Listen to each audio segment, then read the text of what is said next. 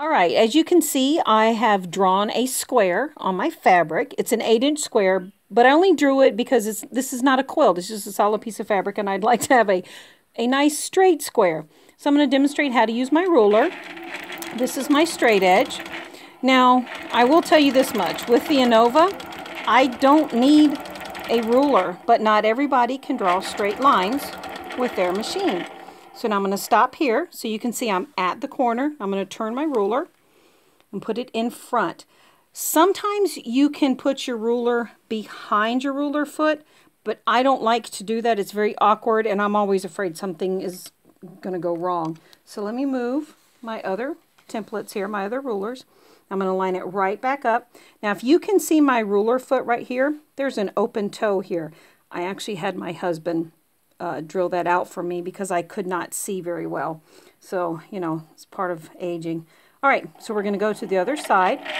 Now, when you're using your rulers, you gently hold them in place. You do not have a death grip at all.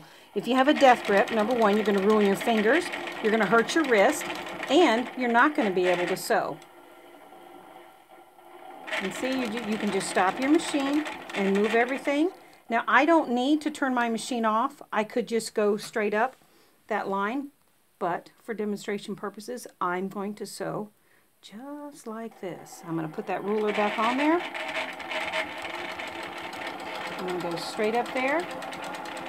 I'm going to stop here and I'm going to move my ruler. And if you need to turn your machine off to do this, then please do.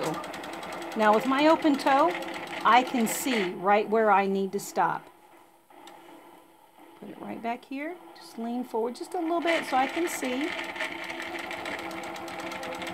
There we go.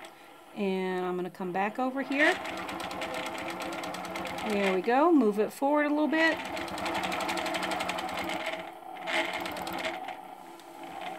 And there you go. Now, if I wanted to, I could go and I'm going to move these, I'm going to get these threads out of here. I'm going to clip those. I could bring it out a quarter of an inch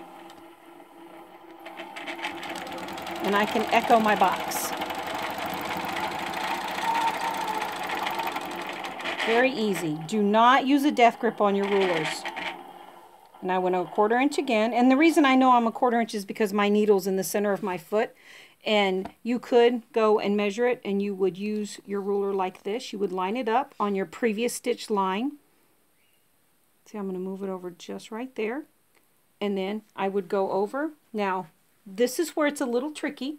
I'm right-handed, so I'm going to use my left hand, but I come on the side right here. And I'm looking through, holding in place.